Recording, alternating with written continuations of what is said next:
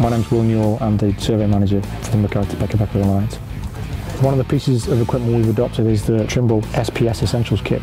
And what this allows us to do is, in the most cost-effective way, all of the, the non-essential survey activities such as CPT locations, service as built locations, we are equipping many of the other departments on the project with this kit so they can actually do it themselves and they find it very very easy so some of the tasks that they actually complete are topo surveys of services that have been uncovered, whether they be water pipes, gas, electricity supply, sewers perhaps.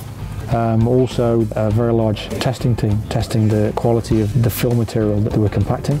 And they need to have accurate locations for all those testing areas. And they actually use Trimble Essentials kit to do that for them. And they find it very very easy to use. And not only that the reports that we can get out of it tick all the boxes that we require from a QA perspective.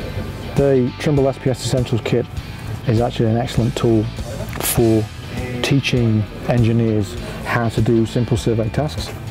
It's the, the training process that I go through is actually very short and very easy and the engineers can pick up what they need to know to go out and measure points effectively very quickly.